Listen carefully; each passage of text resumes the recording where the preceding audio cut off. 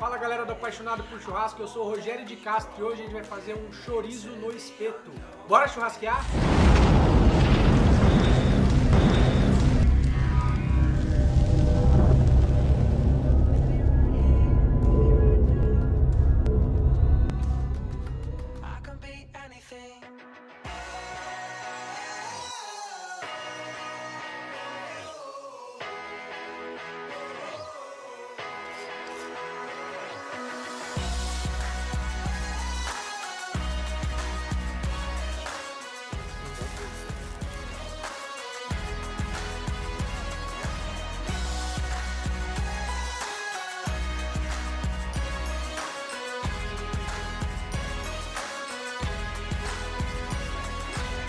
É isso aí galera, hoje a gente vai fazer um chorizo angus.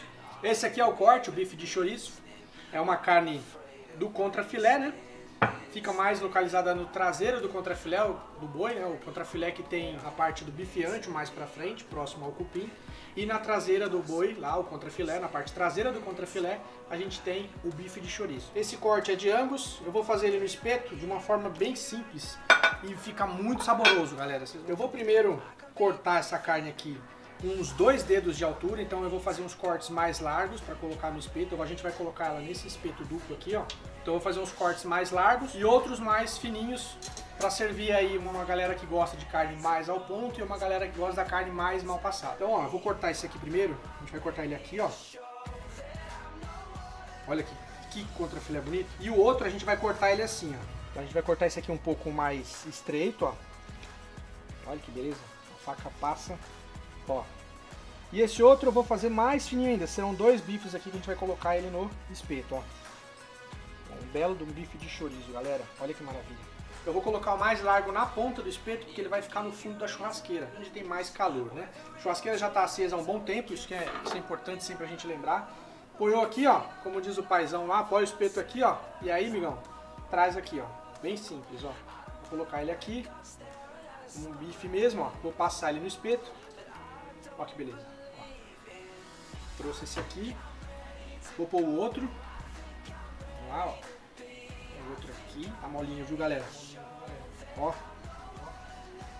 Olha. Vou colocar o médio. E por último, o meu, que é esse aqui mais alto, ó. Um corte mais pra ficar do ponto que eu gosto. Ó que beleza. Galera, não sei se porque não tem a grelha, é um corte feito no espeto. Fica uma delícia o sabor desse corte. Eu tô usando uma lenha de angico ali. Peguei um pedacinho pequeno da lenha, coloquei no canto da minha churrasqueira só, só para dar um gosto. A base do meu braseiro é carvão mesmo.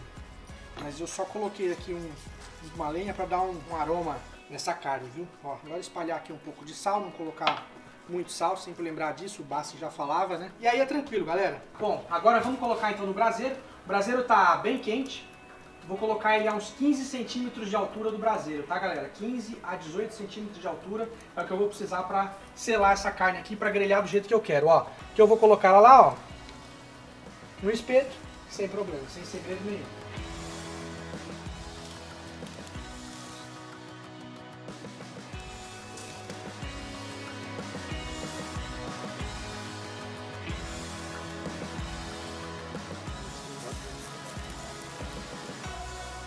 Bem, olha aí que bonito.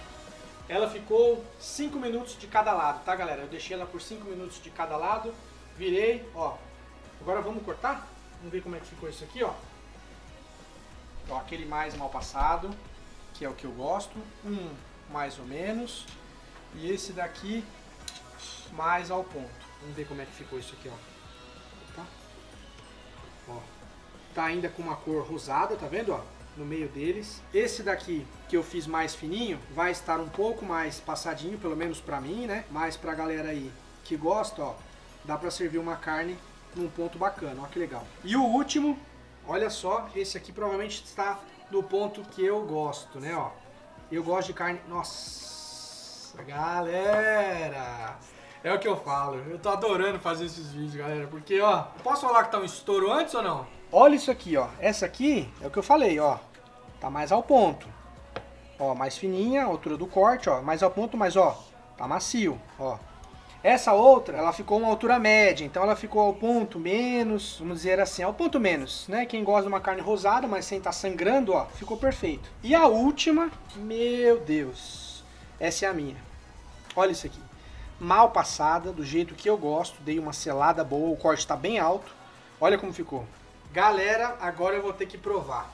Olha, Bom, vocês já viram como tá cada uma delas, né? Então, eu não sei mais o que dizer, só sei que eu tenho que provar. Então, eu vou começar pela carne que está mais passada, ou está ao ponto. Ela não ficou passada, né? Ela tá ao ponto, ó. Tá rosadinha ainda. Hum. Hum. Eu vou provar essa que está ao ponto. Pegar a parte com gordura. Gosto com a parte com gordura, ó. E vou pra parte rosada mesmo, mal passada, do jeito que eu gosto.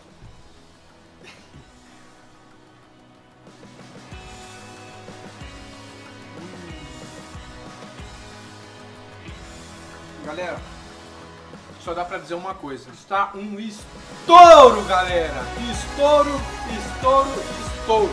Bife de chorizo no espeto é algo espetacular. Pode fazer, coloca no espeto, salzinho, 5 minutos de cada lado. Acerta aí o ponto que você gosta, uma carne ao ponto, mais mal passada, e faz o teste. Galera, era isso que eu tinha pra hoje. Bife de chorizo é, no espeto pra vocês.